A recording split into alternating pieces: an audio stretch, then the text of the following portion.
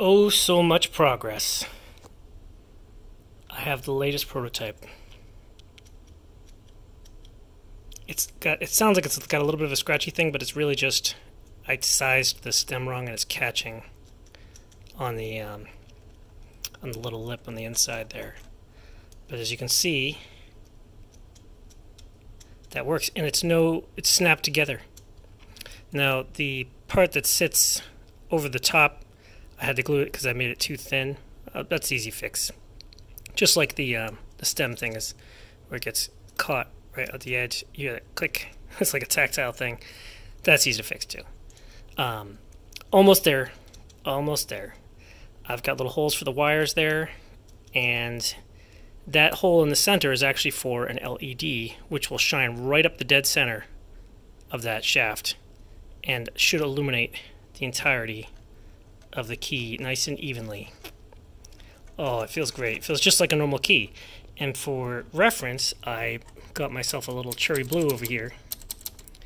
And it's basically the same exact size as a cherry key. Now, you can twist it a little bit, but, you know, it's not like it's gonna, that's not gonna matter when you touch it. So there is, you know, you can actually I guess you could actually in, uh, incorporate a potentiometer in here and turn this into like a little left and right volume control or something wacky.